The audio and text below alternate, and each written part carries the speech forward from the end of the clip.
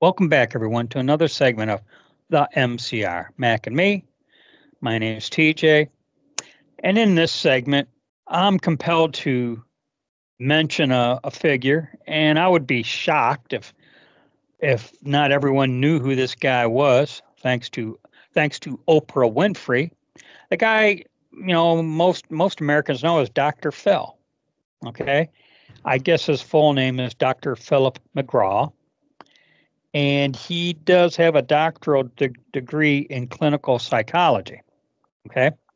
Uh, but Dr. Phil, he's been making the rounds lately. Uh, I mean, he's always been around, and I guess he has some ups and downs in his uh, programming and, and, and shows and whatnot.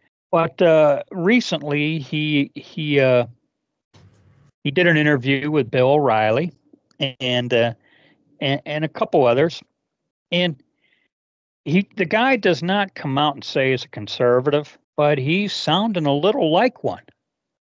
And he now he claims he's not right or left, but we we've said in the past in our videos that if you're not full left, yeah, if if you're if you're not into if you're not with us, then you are completely against us.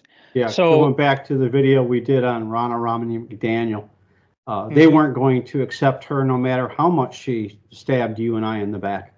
Now, I can tell you pretty with pretty good conviction, Dr. Phil is anti DEI, diversity, equity, inclusion. Right. Now, Dan Bongino calls it DIE, you know, diversity, uh, inclusion, equity. You know, I guess, I guess that's his way of mocking the DEI as opposed yeah, to. An- another mock, and I think it's one that's aptly earned, is uh, didn't earn it. Yeah, yeah. Uh, but uh, Dr. Phil did have a, a woman on her show. I've seen it a couple times. I forget her name, and he had this woman on who she was. Uh, she she was an HR person and if you know anything about HR, sometimes they can make you vomit. Okay. Uh, so so he she, he had this uh, HR person who who uh, was all in on DEI, and then there then he had a black pastor uh, who was anti DEI, and, and, he made he made a pretty good point, and I and I don't I'm not going to get his entire statement correct here because I didn't write it down, but uh, something to the effect of it's got to work everywhere for if it can't work anywhere I, you know what and i'm screwing it up. Other if it than, doesn't work everywhere it isn't going to work anywhere. That's right. Thank you. And and he referenced the uh, he goes he mentioned the nba uh, and football. He goes where's all the hispanics in those sports? Hispanics and and or and asian people? He goes I, you go as as if to say, you know, a lot of times this whole DEI is intended for black ethnicity, when in fact there's all sorts of minorities out there, you know, and and why don't you see Asians playing basketball here in the NBA? Uh, or he goes, and then he threw in, and why don't you see black guys playing hockey? And I guess there was one black hockey player. Oh, no, there there are several currently. Yeah it's more common because hockey is a rich kid's sport and okay. economic economically. I mean, just as many whites can't play it for the same reason, but that's why you don't see as many black players. Well, in in any event, he was just using sports as a as a simple example of, of why he wasn't DEI. Okay, right. and in, in in in watching all these clips and and listening to Dr. Phil, I thought I thought this guy is not liberal. And while well, he is, I'd say it's not so much that he's common sense, although I think you could equate the two, eh, or are not uh, conservative, but it's more common sense. Anyone with a brain would would know we cannot be equal. For us to be equal, we none of us can be better than the worst of us. And is that uh, what we should shoot for? None of us being as any better than the worst of us? Well, yeah, yeah, lowering the bar. Well, for instance, if uh, Joe Schmo can't read, then you shouldn't be able to either. Because if you yeah. can read, you'll be you'll be le- more equal than he will. So we would we would all be better off if we were all illiterate.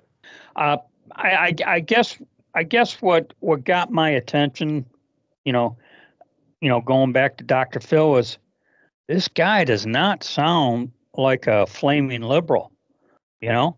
Well, everyone's got their uh, tipping point, or enough uh, to say enough is enough. I know for, he's for, gone after uh, the uh, asinine idea that you can change sexes. Um, and and also something that yeah yes he did, but something else he was ranting on that got my attention was the, and we're going to have to. He's he has his thoughts on on COVID, and they are not in keeping with the left. Right. Okay. Uh, to include the damage done to students when they shut down the schools. Oh, right. he's uh, he he. Well, I think the I think the leftists refer to those as unintended consequences. Yeah. Well, he he really unloaded on the psychological damage done to uh, especially well, well, all the kids elementary junior senior high he he did not hold back on the uh, damage done to to all these students who went two three years quarantined in their house uh, doing school uh, uh, remotely uh, and and really not developing psychologically or socially. Well, these are your know? developmental years. Yeah, your brain and, keeps your brain keeps developing into your uh, early the mid twenties. And uh, I, I, like I said, I, I keep seeing these clips of Dr. Phil, and I'm thinking, man, he's sounding a little like us on the right, you know. And us uh, at the MCR, perhaps. Yeah, really. But uh, of course, you know, he and he's made the comment, "I'm not left, I'm not right, I'm just, you know." Well, yeah, well, he's trying to play the middle of the road, which yeah. all you do when you're in the middle is get run over. But but going back to, and I've, we've said this quite a few times now already that if you're not all in with them, then you're all out. And right. uh, and I I do believe I, I while I don't know the specifics, it appears him and Oprah are are on the outs. She's well, the one that. Let me ask you a question. What does the D stand for again in DEI? Uh, diversity. And that means different different thoughts, different opinions, different viewpoints. But on the left, there are none. There is theirs and only theirs. Yeah. And if you're not of that ilk, then you're then you're the enemy. Yeah, uh, yeah. Diversity, equity, inclusion. Right. But uh, yeah, uh, Oprah was the one that kind of got this guy popular, and and at some point, him and Oprah uh, went their went their separate ways. Now he did make the comment that about once a year he does. Uh, I don't know if I don't know on what occasion, other than about once a year he will uh, send her a thank you for because I she she she boosted his career beyond belief. Oh yeah, you know? she she reviewed a book. It went right to number one. And she and he was one of her favorites to bring on her show when whenever she was talking about you know something socially or psychologically, right. whatever. Uh, and like I said, he does have a doctor's degree in clinical psychology, so you know he he's he's got he's he's got the pedigree there. We'll say. I, I just wanted to throw it out there about Dr. Phil. Uh, you know, some I, I guess in some regard, a, a guy worth keeping tabs on. You know, you know, see what see what he does next. I I, I don't want to say he's going to be another Doctor Oz, but I'm wondering if he at some point might be. You know. Uh, anyways, that's all I got about Doctor Phil. Uh, just uh, he's just done a few things that that's made him a blip on the radar. You know, and, yep. and I'll just I'll just end with that. Uh, Thanks everyone for your support. We'll call this one a wrap and we'll catch you in the next one. As always, be safe, watch your six, and don't tread on me.